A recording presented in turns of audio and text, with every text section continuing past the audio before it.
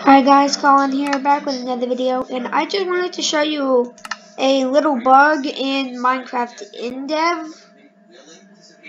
You see, I'm walking normally. You see my hand right there?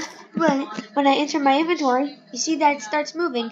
And whenever I walk, whenever I'm in my inventory, my arm swings around like crazy. But it was fixed I think in Minecraft in dev or a later version or an alpha or another version like that. But I can make it look like the survival test hands. No, it looks too far swan. Stop it, you stupid pig!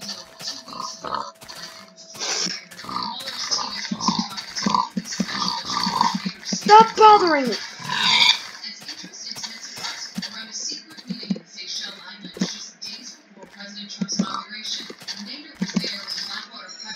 It looks exactly like. Oh, no, no.